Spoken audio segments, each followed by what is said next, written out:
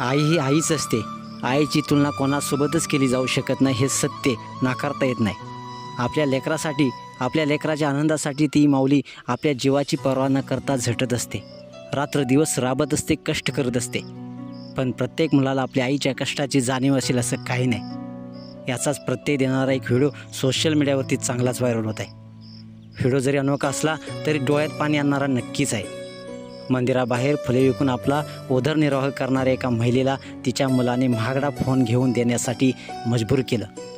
Phone घेत नाही तो पण उपाशी राहून त्याने फोनची मागणी केली.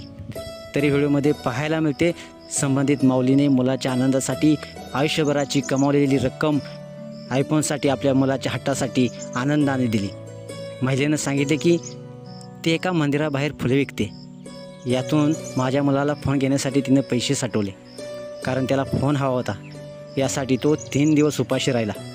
मित्रांनो तुम्ही व्हिडिओमध्ये पाहू शकताय मुलगा हातात रोख रक्कम घेऊन उभा आहे.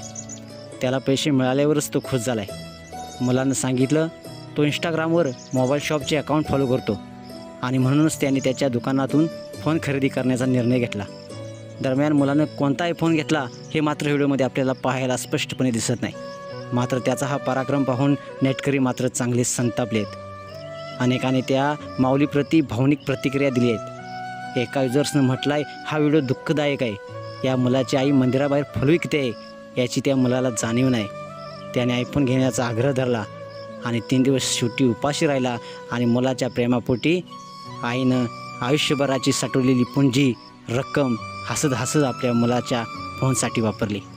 आईने हार मानली आणि तिच्या मेहनतीने त्याला आयफोन विकत घेतला. आई ती आईच असते. आपल्या मुलाच्या आनंदासाठी ती काहीही करू शकते. मात्र मुलाने तिच्या कष्टाची जाणीव ठेवायला पाहिजे होती. मित्रांनो तुम्हाला काय वाटतं नक्कीच कमेंट्स करा आणि आपल्या एस एस स्पोर्ट्स या चॅनलला सबस्क्राईब देखील करा. धन्यवाद.